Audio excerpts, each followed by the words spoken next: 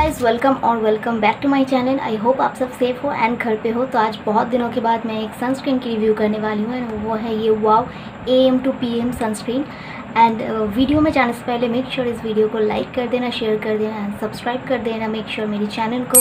तो चलिए स्टार्ट करते हैं आज की video let's get started so guys आज आप लोग ज़रूर कमेंट करके बताना कि साउंड कैसे आ रही है क्योंकि आज मैंने एक न्यू माइक यूज़ की है.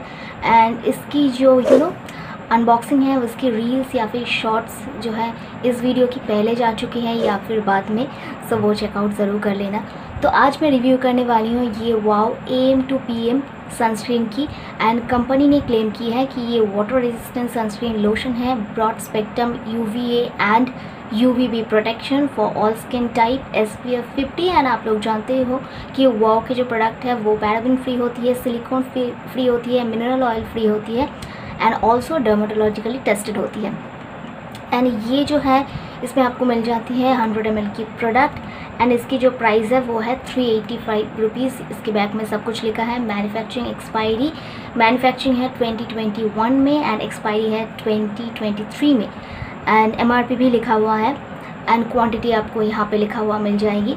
एंड वीडियो को ज़रूर एंड तक देखना, क्योंकि वीडियो के एंड में मैंने डेमो भी शेयर की है आप लोगों के साथ। तो ये है कुछ पैकेजिंग कोई भी आउटर यूनिकार्टन के साथ ये नहीं आती है एज इट इज़ ऐसे ही ट्यूब में आती है। एंड मुझे ये ट्यूब काफ़ी ज़्यादा अच्छी लगी, क्योंकि सनस्क्रीन की मोस्ट ऑफ़ द टाइम ऐसे ही पैकेजिंग होती है, थोड़ी सी ब्राइट कलर होती है तो वो मुझे बहुत ज़्यादा पसंद आई। बट इसमें एक चीज़ जो नहीं है, इन्होंने मेंशन नहीं की है कि पी ए प्लस प्लस या फिर ट्रिपल प्लस ये सब कुछ मेंशन नहीं है, सिर्फ़ एस पी एफ़ फिफ्टी है, यही उन्होंने मेंशन की है। तो अब मैं जो है इसकी टेक्सचर आप लोगों को दिखाती हूँ। एंड वाओ की जो प्रोडक्ट है गाइस आपको सब जगह पे मिल जाएँगी। Nykaa Flipkart Amazon purple wow की वेबसाइट सभी जगह पे मिल जाएँगी। इसकी टेक्सचर मैं थोड़ी सी दिखा दूँ आपको। ऐसी एक क्रीमी जैसी टेक्सचर है। जैसे मार्शमेलो क्रीम टाइप का टेक्सचर है इसकी। आपको ब्लेंड करने के टाइम पे बिल्कुल भी नहीं लगेगी कि ये थिक है बट जब आप स्किन पे अप्लाई करते हो ना, तब जाके आपको मालूम पड़ेगी कि यस ये थिक है। थोड़ी सी वाइट कास्ट छोड़ती है, इसीलिए आपको बहुत ही अच्छी तरीके से ब्लेंड करनी पड़ेगी अदरवाइज़ थोड़ी सी वाइट कास्ट ये छोड़ देंगी। एंड आपको जल्दी से जल्दी ब्लेंड करनी होगी, क्योंकि ये जो प्रोडक्ट है ना, ये थोड़ी सी क्रीम टू पाउडर फार्मूला में है। मतलब आपने अप्लाई करके छोड़ दिया एंड उसके बाद आप धीरे धीरे ब्लेंड कर रहे हो, तब एक जगह पे वो पैच क्रिएट कर देगा, आप ब्लेंड नहीं कर पाओगे तो थोड़ी सी आपको फास्ट ब्लेंड करनी पड़ेगी। आप देख सकते हो ये प्रॉपरली ब्लेंड हो गया है, क्योंकि मैंने बहुत ही जल्दी जल्दी ब्लेंड कर ली है।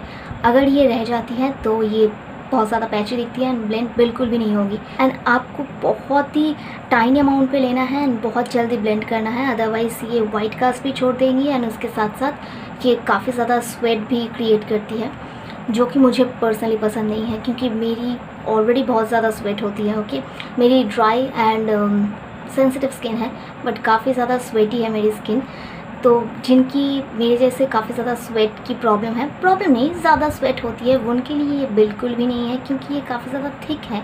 एंड लगाने के साथ साथ बहुत ज़्यादा स्वेट होती है, बहुत ही ज़्यादा स्वेट होती है। तो आपको हर बार उसे टिशू की हेल्प से डैप करनी पड़ेगी अदरवाइज़ ये बिल्कुल वाइट पानी की तरह यू नो फैलने लगेगी एंड ये बिल्कुल भी वाटर प्रूफ नहीं है। आप जब भी वाटर से अपनी मुँह धो लोगे, ये बिल्कुल वाइट पानी की तरह बहने लगेगी। स्वेट भी हो या फिर आपने पानी से मुँह भी धोया है ना, तब भी जाके ये वाइट लिक्विड की तरह बहने लगेगी, जो कि बिल्कुल भी अच्छी नहीं लगती है दिखने में। एंड अगर आपने जल्दी से उसे पूछ ना लिया तो वहाँ पे तो एक वाइट पैच क्रिएट कर ही देगी तो वो चीज़ मुझे बिल्कुल पसंद नहीं है। एंड काफ़ी ज़्यादा स्वेट क्रिएट करती है। मैं कहूँगी कि जिनकी dry to super dry skin है एंड आपकी उतनी ज़्यादा स्वेट की प्रॉब्लम नहीं है ना जिन लोगों को वो ये ट्राई आउट करके देख सकते हैं बट जिन लोगों को स्वेट की प्रॉब्लम है oily skin super oily skin combination skin तो बिल्कुल भी मत खरीदना, बिल्कुल मत खरीदना, बहुत ज़्यादा स्वेट होती है इससे। ये क्रीम टेक्सचर में है वाटर टेक्सचर में या फिर ऑयल बेस नहीं है तो ऑब्वियसली आप लोगों की जो ऑयल सिक्रेशन है वो और भी ज़्यादा बढ़ सकती है। सिर्फ़ मैं उनको ही रिकमेंड करूँगी जिनकी ड्राई स्किन या फिर सुपर ड्राई स्किन है बट स्वेट नहीं होती है, सिर्फ़ उन लोगों को रिकमेंड करूँगी।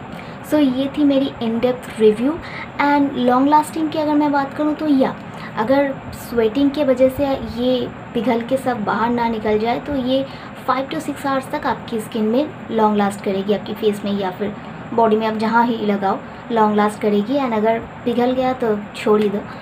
तो ये थी मेरी इन डेप्थ रिव्यू एंड जल्दी से हम देख लेंगे इसकी डेमो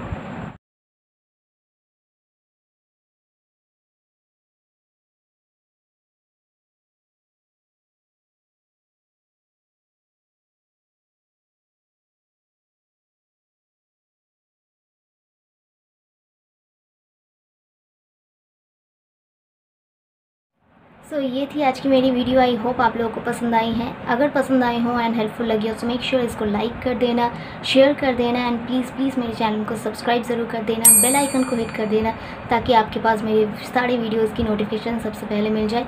मुझे इंस्टाग्राम पर ज़रूर फॉलो करना एंड कमेंट करके बताना कि नेक्स्ट कौन सी वीडियो देखना चाहते हो. तो मैं मिलती हूँ बहुत ही जल्द मेरे नेक्स्ट वीडियो के साथ. तब तक के लिए बहुत ही अच्छे से रहिए. Take care bye